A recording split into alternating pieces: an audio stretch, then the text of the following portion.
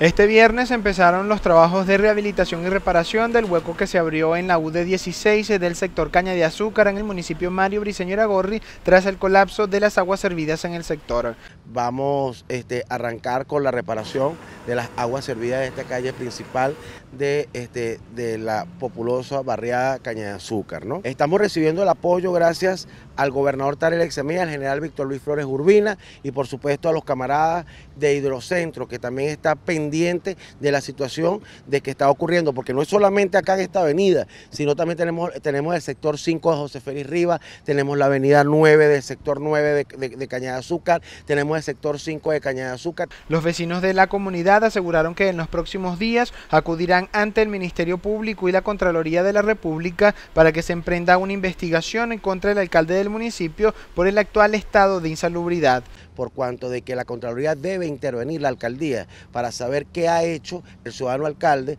con los más de 340 millones de bolívares que ha aprobado la Cámara Municipal, recursos esos enviados por el Gobierno Nacional para, este, para